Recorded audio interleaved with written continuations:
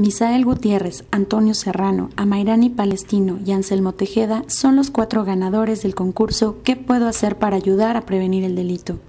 En el evento, Gina Domínguez, coordinadora general de comunicación social de Veracruz, destacó que los jóvenes no son un problema y sí una solución para el bienestar de la entidad. No son un problema, los jóvenes son la solución para este país, para este estado y yo creo que con la muestra que nos han dado los jóvenes que participaron, los jóvenes que hoy obtuvieron este premio, tenemos la certeza de que Veracruz va para adelante con jóvenes como ellos. Para el Universal Veracruz, Berenice Balboa.